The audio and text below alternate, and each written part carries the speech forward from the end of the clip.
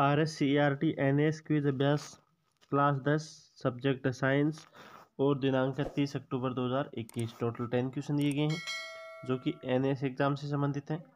तो आइए सभी क्वेश्चनों को आंसर हम देख लेते हैं। पहला है, बल की सी जी एस इकाई क्या है? तो बल की सी जी एस इकाई है डायन, और बल की ऐसा इकाई क्या होती है? ऐसा इकाई होती है न्यूटन। तो यहाँ पर सी जी एस पूछा है तो डायन लिखेंगे, अगर ऐसा ही पूछते तो हम न्यूटन बताएँगे। अगला क्वेश्चन हम देखते हैं। एम एस प्रणाली में कार्य की इकाई। तो एम एस प्रणाली में कार्य की इकाई क्या होती है? जूल होती है। अगला क्वेश्चन हम देखें, कौन सा कथन सही है? तो यहाँ पर सभी क्वेश्चन क्या है? सही है, सारे कथन सही है। ऐसा प्रणाली में दबाव का मात्रक होता है न्यूटन प्रति मीटर स्क्वायर।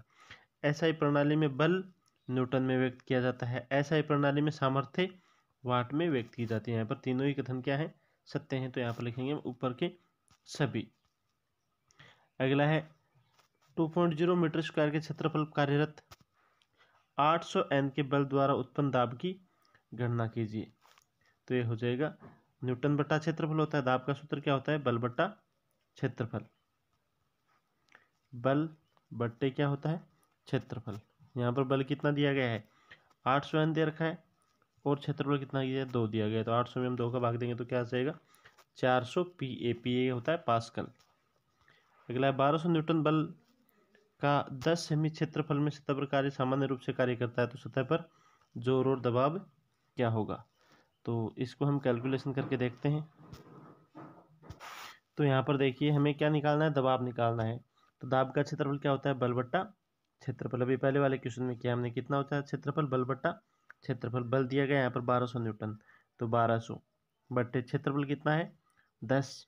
अब यहाँ पर देखें तो क्षेत्रफल हमें सेंटीमीटर स्क्वायर में दे रखा है, जबकि सूत्र में क्या आता है? मीटर स्क्वायर में आता है। तो दस सेंटीमीटर स्क्वायर को मीटर स्क्वायर में चेंज करेंगे तो दस सौ का क्या हो जाएगा? भाग लग जाएगा यहाँ पर। सेंटीमीटर स्क्वायर है तो दो बार हम सौ का भाग दे देंगे तो क्या हो जाएगा? मीटर स्क्वायर ये सौ गुणा सौ है, ये कहाँ चला जाएगा? ऊपर आ जाएगा। तो यहाँ पर आ जाएगा सौ गुणा सौ। यहाँ से हट जाएगा एक ज़ीरो से एक ज़ीरो इसका कट गया।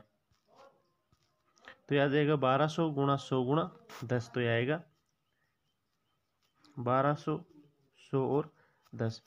इतना दबाव आ जाएगा। अब इस यहाँ पर हम इसको शॉर्ट फॉर्म में लिखेंगे। तो यहाँ पर कितना हो जाएगा? टोटल कितने ज़ीरो हो गए? तीन, दो, पाँच और एक यहाँ पर। तो यहाँ पर हम दशमलव लगा देंगे। तो आ जाएगा एक पॉइंट दो न्यूटन प्रति metre square. Option number first इसका राइट आंसर हो जाएगा। अगला क्वेश्चन हम देखें। एक चल पिस्टन के साथ एक सिलेंडर में निहित गैस का दाब तीन सौ पास्कल है। पिस्टन का क्षेत्रफल ज़ीरो पॉइंट पाँच मीटर स्क्वायर है। तो पिस्टन पर लगने वाले बल की गणना कीजिए। तो दाब बराबर क्या होता है? बलबट्टा। क्षेत्रफल। दाब बराबर क्या होता है? बलबट्टा। क्षेत्रफल। अब हमें दाब दे रखा है तीन सौ। तो तीन सौ बराबर बल हमें निकालना है। एफ़ लिख देते हैं। क्षेत्रफल कितना है? ज़ीरो पॉइंट पाँच। अब ज़ीरो पॉइंट पाँच यहाँ भाग में इस साइड में आएगा तो गुणा में तो तीन सौ का हम क्या करेंगे? ज़ीरो पॉइंट पाँच से क्या कर देंगे? गुणा कर देंगे तो कितना आ जाएगा? एक सौ पचास न्यूटन। अगला क्वेश्चन है, एक किलो द्रव्यमान की वस्तु को चार मीटर ऊंचाई तक ले जाने में किया गया कार्य। तो किया गया कार्य आएगा यहाँ पर? चालीस जूल। इसके अंदर देखते हैं अगला क्वेश्चन, मुक्त अवस्था में वस्तु, गिरने वाली वस्तु की कुल ऊर्जा क्या होती है? तो कुल ऊर्जा क्या होती है यहाँ पर? स्थिर। नेक्स्ट क्वेश्चन है एम द्रव्यमान की एक वस्तु एच ऊंचाई पर है तो इसकी संभावित ऊर्जा क्या होगी? तो एम जी एच नेक्स्ट, यदि बल एफ़ और विस्थापन एस के बीच कोण थीटा है तो किया गया कार्य कौन सा है? तो यहाँ पर आएगा एफ़ एस कोस थीटा। तो आज की व्हाट्सएप क्विज के टोटल टेन क्वेश्चन थे, जिसके आंसर हमने देख लिए हैं। मिलते हैं अगली वीडियो में, तब तक के लिए धन्यवाद।